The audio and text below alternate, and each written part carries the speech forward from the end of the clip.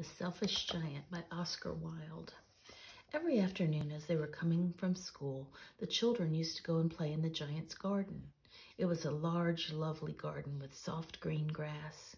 Here and there over the grass stood beautiful flowers like stars, and there were twelve peach trees that in springtime broke into delicate blossoms of pink and pearl, and in the autumn bore rich fruit. The birds sat on the trees and sang so sweetly that the children used to stop their games in order to listen to them. How happy we are, they cried to each other. One day the giant came back. He had been to visit his friend, the Cornish ogre, and had stayed with him for seven years. After the seven years were over, he said all that he had to say, for his conversation was limited, and he determined to return to his own castle. When he arrived, he saw the children playing in the garden. What are you doing here? he cried in a very gruff voice, and the children ran away. My own garden is my own garden, said the giant. Anyone can understand that, and I will allow nobody to play in it but myself. So he put a high wall all around it and put up a notice board. Trespassers will be prosecuted. He was a very selfish giant. The poor children had nowhere to play. They tried to play on the road, but the road was very dusty and full of hard stones, and they didn't like it.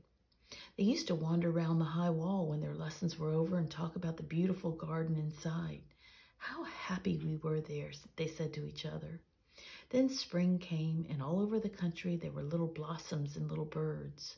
Only in the garden of the selfish giant it was still winter. Birds did not care to sing in it, as there were no children, and the trees forgot to blossom. Once a beautiful flower put its head out from the grass, but when it saw the notice board, it was so sorry for the children that it slipped back into the ground again and went off to sleep. The only people who were pleased were the snow and the frost. Spring has forgotten this garden, they cried, so we will live here all year round. The snow covered up the grass with her white cloak, and the frost painted all the trees with silver. Then they invited the north wind to stay with them, and he came. He was wrapped in furs, and he roared all day about the garden and blew the chimney pots down. This is a delightful spot, he said. We must ask the hail for a visit. So the hail came. Every day for three hours he rattled on the roof of the castle till he broke most of the slates, and then he ran round and round the garden as fast as he could go. He was dressed in gray, and his breath was like ice. I cannot understand why spring is so late in coming, said the selfish giant, as he sat in the window and looked out at his cold, white garden. I hope there will be a change in the weather. But spring never came, nor the summer. The autumn gave golden fruit to every garden, but to the giant's garden she gave none. He is too selfish, she said. So it was always winter there, and the north wind and the hail and the frost and the snow danced about through the trees. One morning the giant was lying awake in bed when he heard some lovely music. It sounded so sweet to his ears that he thought it must be the king's musicians passing by. It was really only a little linnet singing outside his window, but it had been so long since he had heard a bird sing in his garden that it seemed to be the most beautiful music in the world. Then the hail stopped dancing over his head, and the north wind ceased roaring, and a delicious perfume came to him through the open casement.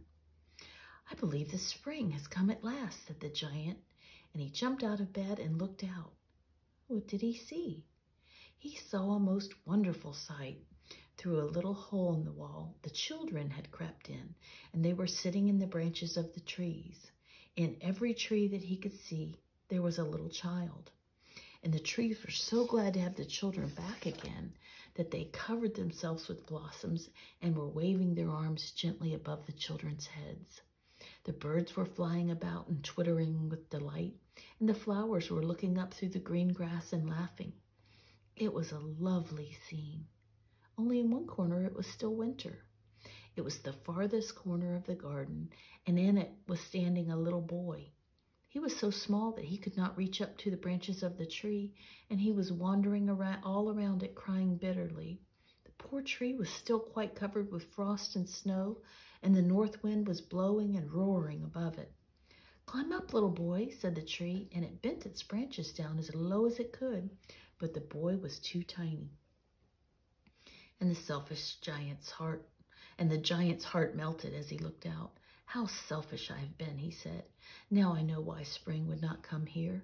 I will put that poor little boy on top of the tree, and then I will knock down the wall, and my garden shall be the children's playground forever and ever. He was really very sorry for what he had done. So he crept downstairs and opened the front door quite softly and went out into the garden. But when the children saw him, they became so frightened that they all ran away, and the garden became winter again. Only the little boy did not run, for his eyes were so full of tears that he did not see the giant coming. And the giant stole up behind him and took him gently in his hand and put him up into the tree and the tree broke out at once into blossom, and the birds came and sang on it, and the little boy stretched out his two arms and flung them around the giant's neck and kissed him. And the other children, when they saw that the giant was not wicked any longer, came running back, and with them came the spring. It is your garden now, little children, said the giant, and he took a great axe and knocked down the wall. And when the people were going to market at twelve o'clock, they found the giant playing with the children in the most beautiful garden they had ever seen. And that is The Selfish Giant. It came from my book House Through the Gate.